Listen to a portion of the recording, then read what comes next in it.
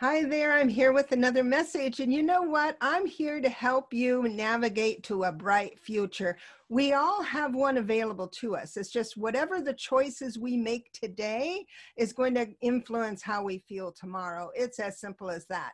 And so I bring you little bits of information to help you navigate to that bright future. That being said, today's card is the devil.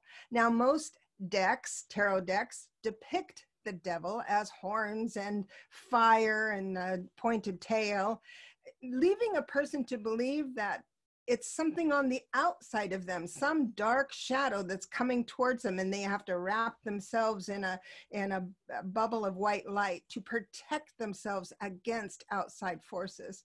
But i got to tell you it's not exactly like that. And i have a card here that will demonstrate a more modern way we can think about the devil. This is a much better way to illustrate the devil. The chocolate cake, the extra piece of cake you would ask me, that's the that's my devil. Or the cigarettes or the overworking or or all of that stuff. You're going to it's so the message is you're going to have an impulse to indulge into your own obsessions.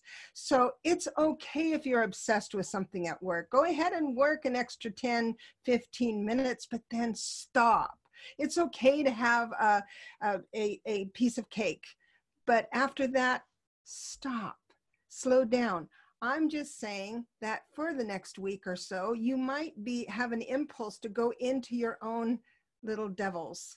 And I'm here to say if you resist this, if you resist your obsessions uh, just a little bit, a little self control, self parenting, you are headed for a bright future.